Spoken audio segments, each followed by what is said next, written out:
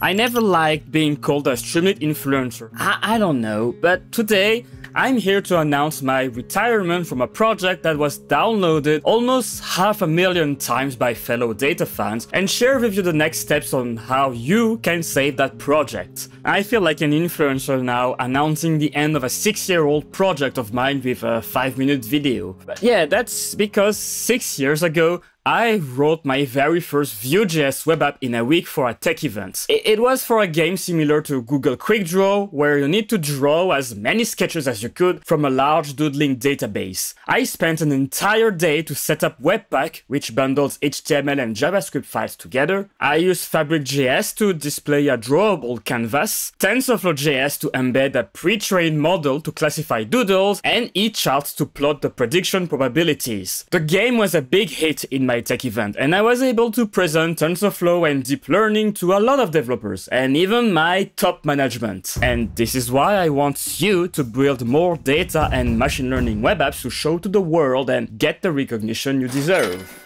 But I sympathize with every of you who has to quickly learn modern web development to put together this kind of demo. So when Streamlit approached me four years ago to help launch their new components feature, a plugin system that enabled us to integrate any front-end component into Streamlit, I came back to this project and split my web app into two components, the drawable canvas and the eCharts component. Streamlit launched components in the year 2020 with both my components for launch day and they became like instant hits. I stumbled upon countless demos using my drawable canvas, from drawing Voronoi areas over a soccer field to a doodle to Pokemon recognition Pokedex. And I can't even show you a demo or a video replay because Twitter X can't replay videos from 4 years ago.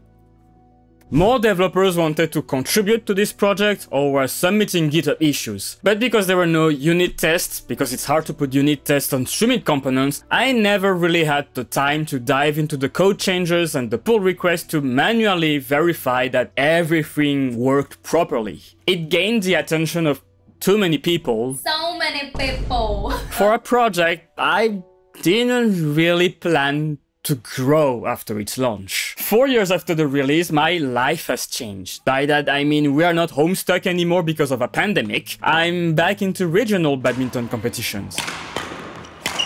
I started a YouTube channel, which you should subscribe to for more Streamlit and data web apps content. My YouTube gear led me into portrait and street photography, which then got me into filming badminton competitions, local data science meetups, and corporate events for social media. I'm learning motion graphics for code explainer animations, which are doing pretty well on LinkedIn, my YouTube community, and my email newsletter, and I'm mentoring a few people on creating image carousels and editing video tutorials. I realized in those four years I can spend my 4 to 8 am every morning thinking of educational videos and animations around data, web or AI to inspire you, but I don't have that same morning urge to reflect on my Fabric.js technical debt, nor the latest Streamlit components feature to integrate into drawable canvas like component callbacks or dark mode integration. And this lack of motivation compounded for four years in my mind until one day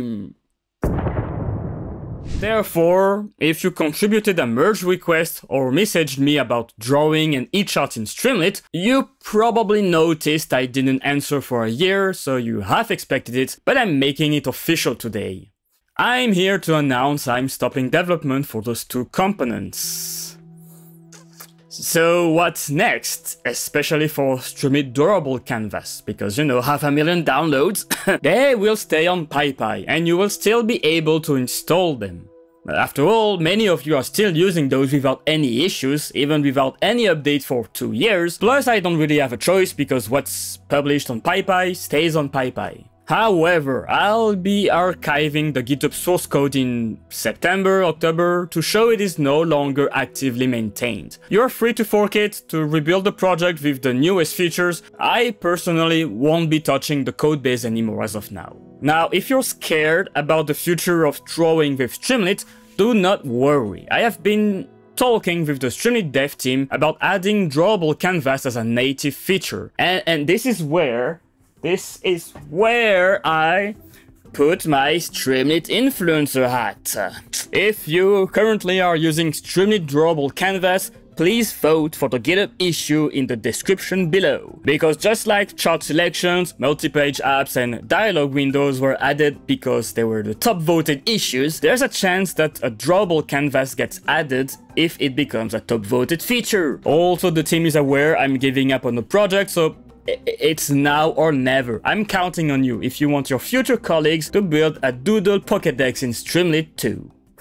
uh, finally, one of the reasons I'm giving up on drawable canvas is I found an awesome alternative. If you are a regular on this channel, you should know about Gradio from the Hugging Face ecosystem. It features a native drawable canvas that is infinitely better than mine. You can draw on it, add a background image like in Streamlit, but also use multiple layers, erase strokes, and react to events, for example to update the image with a generated one from a Hugging Face model. It's everything I dreamed of for my component, so yeah, give it a shot. That's it for this small video. In the meantime, a post I did about multi-page apps and authentication is doing well on social media, and now people are asking for a video, so I have to research Auth0 and Firebase authentication. So yeah, maybe that's my next video. I'll see you around. Bye!